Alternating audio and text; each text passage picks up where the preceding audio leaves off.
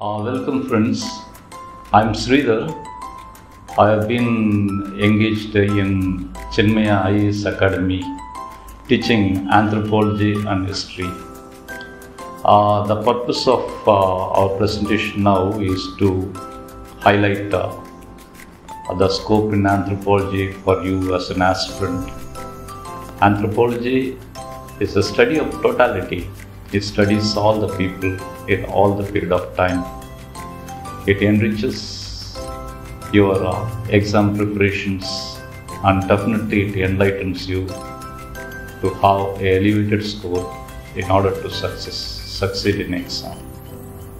Uh, uh, friends, we provide uh, nearly 200 hours of uh, coaching in the subject.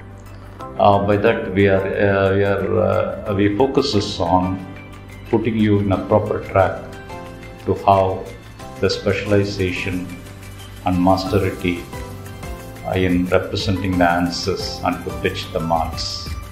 Anthropology would be a delighting one, not only while preparing but also while uh, while seeing the marks that has been the result of our preparation.